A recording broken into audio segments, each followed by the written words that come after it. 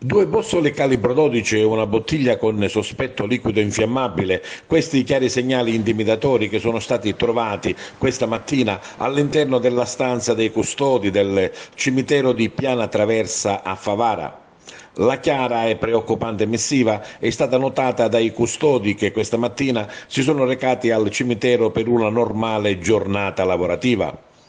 Il primo sospetto è arrivato dalla porta che era socchiusa, quindi Appena entrati hanno visto subito la bottiglia e i due bossoli.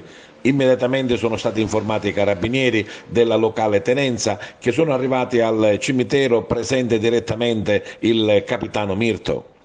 I militari hanno subito iniziato le indagini, hanno riscontrato la presenza di due bossoli calibro 12 e di una bottiglia con all'interno liquido sulla cui natura si stanno facendo gli accertamenti.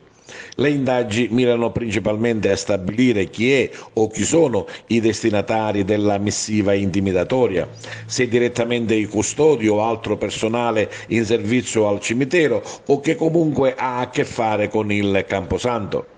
All'interno del cimitero di Piana Traversa sono collocate una serie di telecamere, ma pare che il sistema di videosorveglianza non sia attivo già da tempo, in quanto fuori uso, per cui sembra impossibile poter visionare le eventuali immagini.